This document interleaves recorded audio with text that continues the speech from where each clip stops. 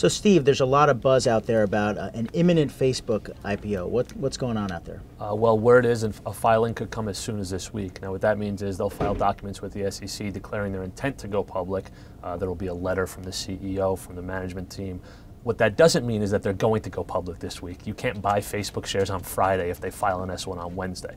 What happens after the S1 is filed is the SEC and regulators will review what Facebook is offering then there's negotiations in terms of which exchange they'll list on, which ticker they'll list under.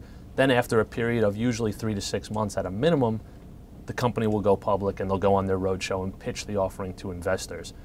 Uh, very few companies get out in less than say three or four months, so we have a little bit of a runway before we actually see. And Facebook how big? How big is this uh, Facebook uh, IPO going to be? Well, the word is that you know, it could be anywhere at a valuation from 75 billion to 100 billion dollars. Facebook shares have traded on private markets. There have been private deals, private investments in the company that have given the company valuations.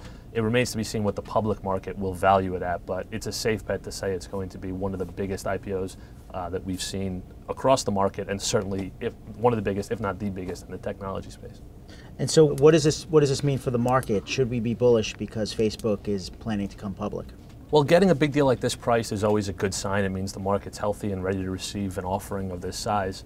It's also hard to extract too much broad-based knowledge from a deal like this, which is a hugely popular company, one that a lot of people know about it. Let's face it, they have hundreds of millions of members. So even if just those members want to buy shares, that's enormous demand for a stock like this. So it's hard to extrapolate that this is a bullish signal for the market in general, but there's a lot of folks with a vested interest in getting a deal like this done, including their underwriters. Goldman Sachs and Morgan Stanley are talked about as the most likely to be leading this offering.